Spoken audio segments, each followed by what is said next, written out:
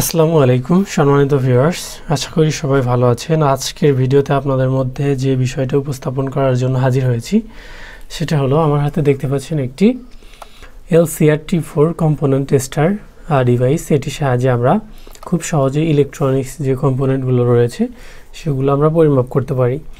তো এটি দিয়ে আসলে মূলত কি কি কম্পোনেন্ট পরীক্ষা করতে পারবেন, সেটার মধ্যে উল্লেখযোগ্য হলো এটি দ্বারা ইন্ডাক্টর পরিমাপ করতে পারবেন, ক্যাপাসিটর পরিমাপ করতে পারবেন ডায়েট পরিমাপ করতে পারবেন, ডুয়েল ডায়েট পরিমাপ করতে পারবেন, transistor, SCR, regulator LED light resistance, adjustable potentiometer ইত্যাদি।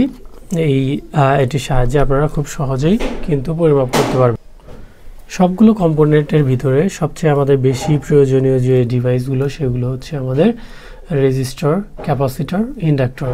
এগুলো আমরা দৈনন্দিন কাজে বেশিরভাগ ব্যবহার করি। তারপরে হচ্ছে আমাদের বিভিন্ন ধরনের ট্রানজিস্টর রয়েছে। এন চ্যানেল রয়েছে পি চ্যানেল রয়েছে, বিভিন্ন ধরনের মসফেট রয়েছে এন চ্যানেল মসফেট রয়েছে পি চ্যানেল মসফেট রয়েছে। তো এগুলোর মধ্যে সবচেয়ে আমার কাছে যেগুলো বেশি প্রয়োজন সেটা হচ্ছে রেজিস্টর, ক্যাপাসিটর, ইন্ডাক্টর। এই তিনটা কম্পোনেন্ট আমার জন্য সবচেয়ে বেশি গুরুত্বপূর্ণ। তো এটার যে রেজিস্টার ভ্যালু রয়েছে, সেটি হচ্ছে জিরো পয়েন্ট জিরো হোম থেকে সর্বোচ্চ পঞ্চাশ মেগা হোম পর্যন্ত এটি দ্বারা আপনারা কাউন্ট করতে পারবেন এবং কোম্পানি সেটাই ডিমান্ড করে থাকে।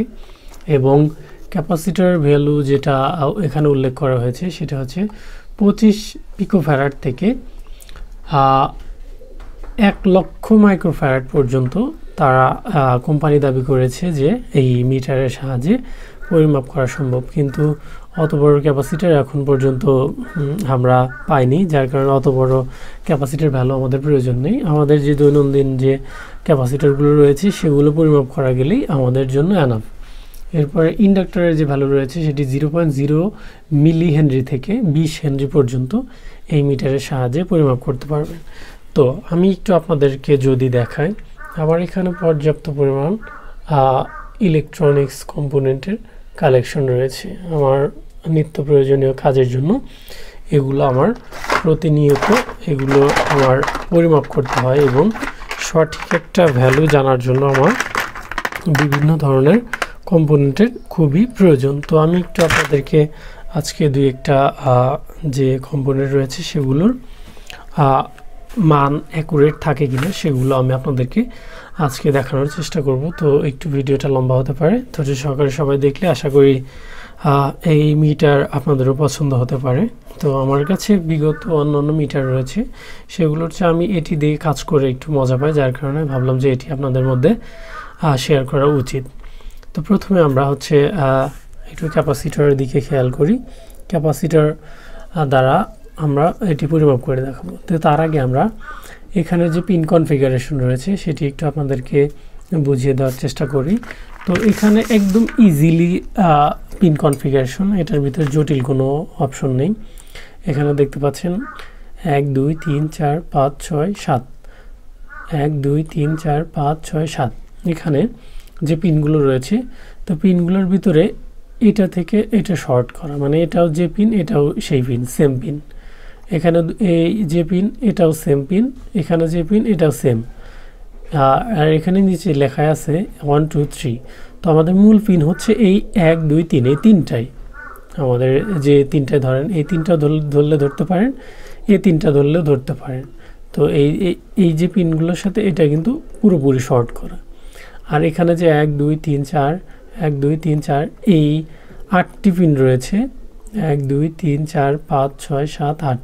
এই আটটা পিনের সাথে এই সেম একের কানেকশন করা। এই দেখুন এখানে ওনারা কিন্তু ইন্ডিকেট করে দিয়েছে যে মূল পিন হচ্ছে এক, দুই, তিন। এই তিনটা পিনের দ্বারাই আপনারা সকল ধরনের কাজ করতে পারবেন। তাছাড়া অন্য কোনো পিনের তেমন কাজ নেই। এক নম্বর পিনের সাথে অন্য পিনগুলো শর্ট করা আছে। তো আমি একটু আপনাদের এখন এগুলো আমি টেস্ট করে দেখাবো। প্রথমে আমরা এখানে দেখতে পাচ্ছেন ছোট সাইজের কিছু ক্যাপাসিটার রয়েছে। এটার ভ্যালু হচ্ছে একশো মাইক্রোফ্যারাট পঁচিশ ভোল্ট তো এটি হচ্ছে মাইক্রোফ্যারাটটা শো করবে। ভোল্টটা কিন্তু ম্যাটার না। ভোল্ট ভোল্টেজটা আপনার নিজের বুঝে নিতে হবে। তো আমরা প্রথমেই এক এবং দুই নাম্বার পিনে দিয়ে এটা টেস্ট করব। আর এখানে বিষয় হচ্ছে এক অথবা দুইয়েও দিতে পারেন, এক অথবা তিনেও দিতে পারেন, দুই অথবা তিনেও দিতে পারেন। এটা কোনো সমস্যা নেই। মিটারটা এমন একটা ইন্টেলিজেন্ট মিটার মানে ওলট পালট হওয়ার কোনো অপশন নেই। আপনার মন এক, একে, এক এবং দুইয়ে দিতে পারেন, দুই এবং তিনে দিতে পারেন। আপনার মন যেটা চায়, আমি, তো প্রথমে এক আর দুইয়ে দিয়ে দিচ্ছি। দিয়ে জাস্ট আমাদের এই এটাকে প্রেস করে দিতে হবে। জাস্ট এইটুকুনি কাজ আমাদের তো এখানে দেখুন, এই যে অষ্টানব্বই দশমিক চোদ্দ মাইক্রোফ্যারাড। তো আমার এখানে কোম্পানি সাজেস্ট করেছে হচ্ছে একশো মাইক্রোফ্যারাড।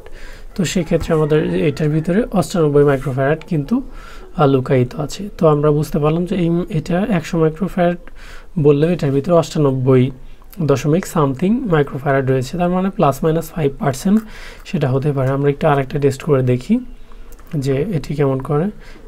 প্রথমে আমরা হচ্ছে দেখেছিলাম এক এবং দুই, এবার দেখব যে এক আর তিনে কি হয়। এটা কোনো ম্যাটার না, জাস্ট একদম ইজিলি এই মিটারটা ইউজ করা।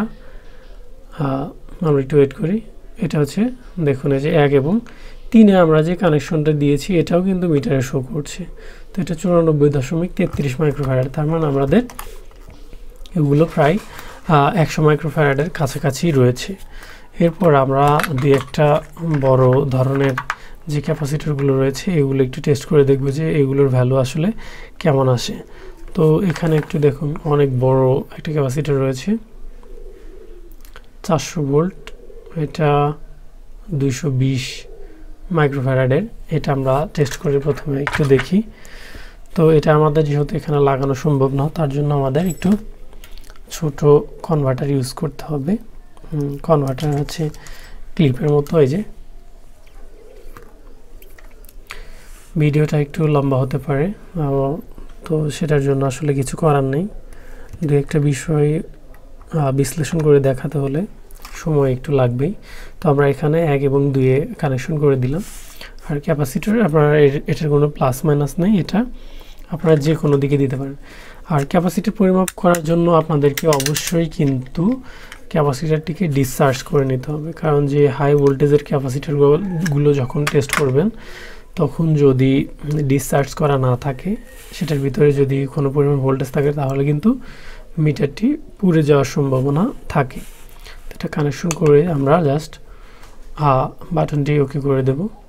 এখানে হচ্ছে দুশো উনিশ মাইক্রোফ্যারাট শো করছে। আর এটার ক্যাপাসিটারের গায়ে ভ্যালু দেওয়া আছে দুশো বিশ। তার মানে এই ক্যাপাসিটারটির ভিতরে অ্যাকুরেট কিন্তু মানটা রয়েছে। আমরা আরও একটু দিয়ে একটা ক্যাপাসিটার দেখি যে একটা। যে কোনটার ভিতরে আসলে কি ভ্যালু রয়েছে। এটা হচ্ছে যে একশো মাইক্রোফ্যানের একটা ক্যাপাসিটর এটা দেখি, এটা হাই ভোল্টেজে তো প্রত্যেকটা ক্যাপাসিটির খেয়াল রাখবে যে এটা কিন্তু টেস্ট করার আগে ডিসচার্জ করে নিতে হবে। নেওয়ার পরে জাস্ট কানেকশনটা দিয়ে দেবেন।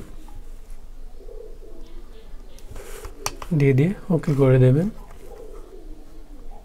এটা হচ্ছে সপ্তানব্বই দশমিক অষ্টাশি মাইক্রোফ্যারেট তার মানে এটার সাথে লেখা আছে হচ্ছে একশো মাইক্রোফ্যারেট চারশো ভোল্ট। তো এটা ঠিক আছে এটা আমরা ভ্যালুটা একটু বেশি দেখব যে ভ্যালু, বেশি ভ্যালুর তা কেমন আসে।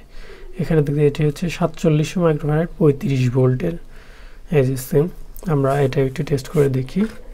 তো এর জন্য ডিসচার্জ করে নেবেন।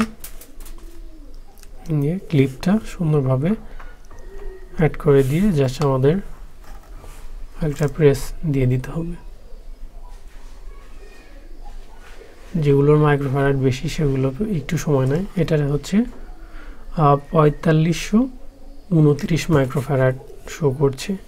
তো এটা দাবি করেছে যে সাতচল্লিশশো, তার মানে পঁয়তাল্লিশশো প্রায় এই ক্যাপাসিটারটা জেনুইন বলা যেতে পারে। যেহেতু পঁয়তাল্লিশশো মাইক্রোফ্যারাডের মতো এটার ভিতরে রয়েছে। তো আমরা ক্যাপাসিটার কিন্তু আমাদের পরিমাপ করা হয়ে গেল। এরপর আমরা দেখব হচ্ছে দু একটা রেজিস্টারের ভ্যালু দেখব যে আসলে রেজিস্টারের মানগুলো অ্যাকুরেট আসে কি না এখন আমরা যে কম্পোনেন্টগুলো দেখব, সেটা হচ্ছে কিছু রেজিস্টারের ডিটেলস দেখব যে এগুলোর যে এগুলো যে রেজিস্টার রয়েছে সেগুলোর মানের সাথে এই মিটারের মানের অ্যাকুরেট থাকে কি না এখানে জাস্ট আমার কাছে অনেক টাইপের রেজিস্টার রয়েছে।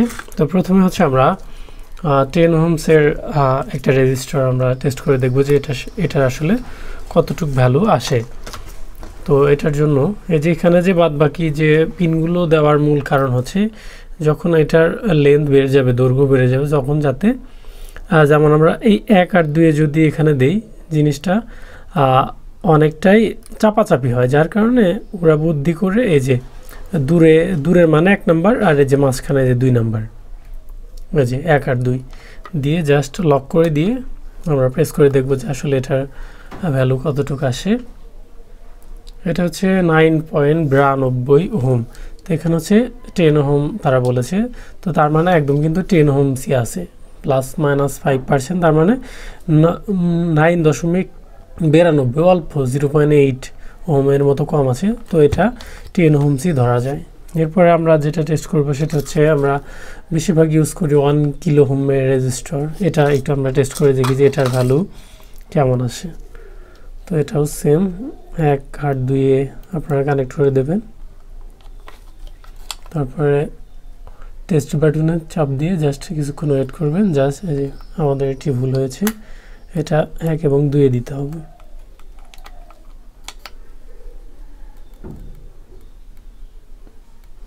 এটা হচ্ছে আমাদের ওয়ান কিলো হোমসের ভিতরে। এখানে যে দেখতে পাচ্ছি যে এটা হচ্ছে ওয়ান কিলো হোমের রেজিস্টার এটা হচ্ছে নয়শো একানব্বই দশমিক চার। তার মানে এটা আমরা কিন্তু ওয়ান কিলো হোম ধরতে পারি। আমাদের ওয়ান কিলো হোমই আছে এটা। জাস্ট অল্প কিছু পয়েন্ট কম বেশি। এরপর হচ্ছে আমাদের টেন কিলো হোমসের একটা টেস্ট করে দেখব যে এটার ভ্যালু কেমন আসে? দুই নম্বর এক নম্বর জাস্ট প্রেস এটা ব্যবহার করে আসলে খুবই মজা। তো এটা হচ্ছে নিরানব্বই দশমিক নয় হাজার নয়শো পঞ্চান্ন হোম তার মানে পঁয়তাল্লিশ হোমের মতো কম আছে। তো এটা প্লাস মাইনাস ফাইভ পার্সেন্ট ধরলে কিন্তু এটা অ্যাকুরেটি আছে। আর এই আমাদের যে বাংলাদেশের রেজিস্টারগুলো, এগুলো কিন্তু মূলত একটু ভ্যালু কম বেশি হয়। ইন্ডিয়ান যে রেজিস্টারগুলো রয়েছে, সেগুলোর ভ্যালু বেশিরভাগ অ্যাকুরেট পাওয়া যায়। আমরা একটু বেশি রেঞ্জের তা একটু দেখব। ওয়ান পয়েন্ট ফাইভ মেগা মে হোমের তো এটা আমরা টেস্ট করে দেখব যে এটি আসলে কেমন আছে। দুই নাম্বার এবং এক নাম্বারে কানেক্ট করে জাস্ট প্রেস করে একটু ওয়েট করতে হবে। এটি হচ্ছে দেখতে পাচ্ছেন পনেরো পঁয়তাল্লিশ কিলো হোম তার মানে এটা যদি আমরা কনভার্ট করি, এটা কিন্তু ওয়ান পয়েন্ট ফাইভ মেগা হোমে যাবে। আমাদের যে, এই যে এখানে যে এক হাজার পাঁচশো পঁয়তাল্লিশ কিলো, এটাকে আমরা কন কিলো থেকে মেগাতে কনভার্ট করলে আমাদের ওয়ান পয়েন্ট ফাইভ এটা শো করবে। তার মানে হচ্ছে আমাদের রেজিস্টারের যে মাপগুলো রয়েছে, সেগুলো অ্যাকুরেট রয়েছে। এখন আমরা জাস্ট দু একটা মোসপেট দেখব যে আসলে এটা কাজ করে কিনা।